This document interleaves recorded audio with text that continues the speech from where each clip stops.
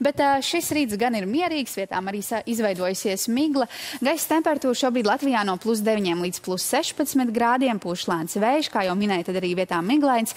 Un laiks ir arī gana saulains. Šodien daudz vietā Latvijā spoži spīdēs saule, mākoņu debesīs būs pavisam maz un gaisa iesils līdz plus 21, plus 26 grādiem. Arī Rīgā lietus nav gaidāms, mākoņi tikai pa laikam aizklās saule un gaisa temperatūra sasniegs plus 23, plus 24 grādus.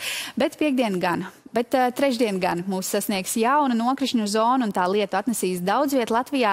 Vietām gaidāms arī stipras un pat ļoti stipras lietus gāzes ar pērkonu negaisu, tādēļ turpmākajās dienās aicināšu ikvienu sekot līdz brīdinājumiem.